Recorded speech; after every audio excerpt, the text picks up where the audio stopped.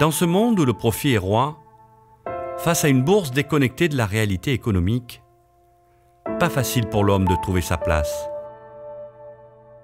Aujourd'hui, en pleine crise, les grandes entreprises ont-elles la volonté de s'inscrire dans une économie plus responsable? Et côté consommateur, pouvons-nous changer le monde avec notre porte-monnaie? Rien qu'en France, 15 millions de personnes achètent équitable.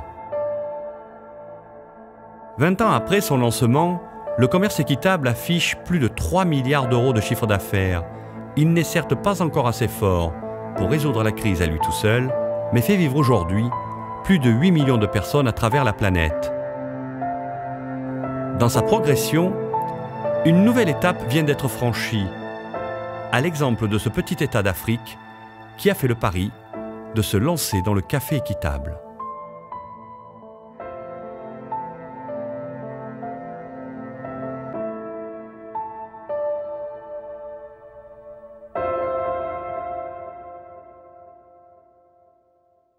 le golfe de Guinée. Au large du continent africain, un archipel coupé du monde. Sao Tomé vit à l'écart des grandes voies commerciales. L'économie est inexistante et sur les plages paradisiaques, pas un touriste. Sao Tomé pourtant, ce patron d'entreprise agroalimentaire y croit. Ici, il a trouvé l'un des meilleurs cafés du monde, un arôme inconnu jusqu'à présent. Personne ne l'avait découvert. Pendant la, cueillette, c'est de cueillir que les cerises qui sont rouges, rouges, rouges. Mais Jean-Pierre Blanc a une exigence. Si pour lui cet arabica est une opportunité, Sao Tomé doit aussi en profiter. C'est ça le commerce équitable. Aujourd'hui, nous essayons d'apporter, euh, puisqu'il y a eu une distribution des terres, euh, un éclairage nouveau, c'est-à-dire la constitution par le commerce équitable et également euh, l'agriculture biologique, parce que vous avez remarqué que cette nature est absolument extraordinaire, luxuriante, magnifique, euh, regorge de possibilités, eh bien de, faire des coopératives de commerce équitable avec des petits planteurs pour produire un café biologique de qualité.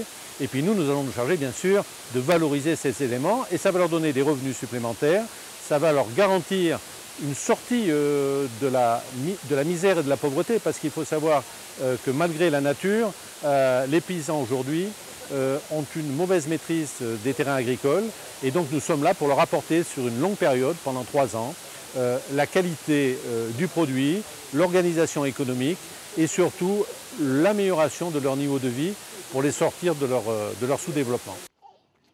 Pour l'archipel, c'est l'espoir de retrouver la prospérité du passé. Il y a 30 ans, à la place de ces terres en friche, il y avait l'une des premières productions mondiales de cacao. Mais avec la fin de la colonie portugaise, l'industrie a périclité. Aujourd'hui, cette plantation renaît. Pour leur famille, ces femmes incarnent l'espoir d'un jour meilleur. Le café équitable leur a donné du travail, maintenant elles peuvent faire des projets. La différence, c'est au moins il y a une fois, il y a quelqu'un qui s'intéresse aux femmes et qui s'intéresse à ce que les gens y vivent et qui s'intéresse à, ce qu'elles cultivent. La plupart des, du café ne sont pas vendus, sont jetés. Vous allez, vous allez dans un hauteur, sous les terres, vous voyez des, monts de café qui pourrissent. Personne n'achète. Oui, ils vendent à des prix vraiment pas Parce que déjà, même s'il euh, y a des formations pour les expliquer comment produire, il n'y a, a pas vraiment de... C'est pas vraiment organisé. Et là, ça va vraiment apporter de l'argent aux femmes. C'est pas quelqu'un qui vient avec qui il prend il prend une part, un pourcentage. Non, là, c'est les femmes qui vont gérer leur argent et elles vont se prendre la main. Ce que je disais, c'est pas le vent qui va prendre le destin, mais il faut nous prendre un destin nous-mêmes.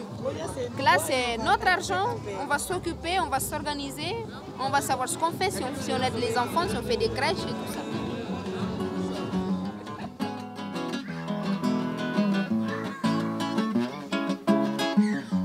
Tout le monde se sent concerné. Pour cet artiste de Sao Tomé, le commerce équitable doit servir avant tout de valeur d'exemple.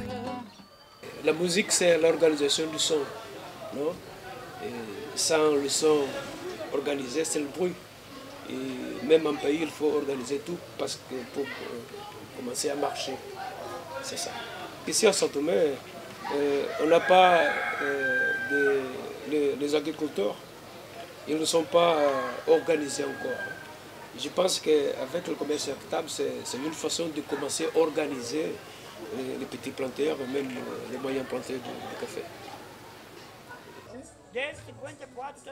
Pour ce chercheur passionné de civilisation, il n'y a pas de fatalité.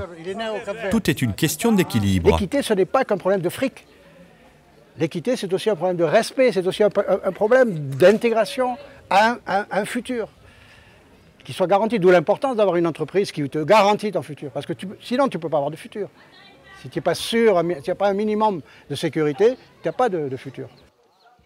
Cette initiative, la communauté internationale y croit. Voici l'homme qui la représente sur l'île. Andrea Serpali est venu investir dans le projet. Quelle est la nouveauté?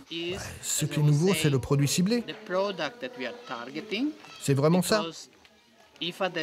Cela permettra une agriculture diversifiée et surtout, grâce à ce nouveau produit, Sao Tomé ne sera pas sous la pression des cours du café. Vous savez, c'est une intervention qui n'est pas habituelle hein, et qui s'échelonne sur 12 ans. Elle a déjà bien commencé. Uh, le coût total de notre intervention sur la durée, y compris avec uh, l'aide au gouvernement, uh, sera à peu près de 18 millions de dollars. Ce n'est pas un budget excessif, mais pour Sao Tomé, c'est vraiment significatif.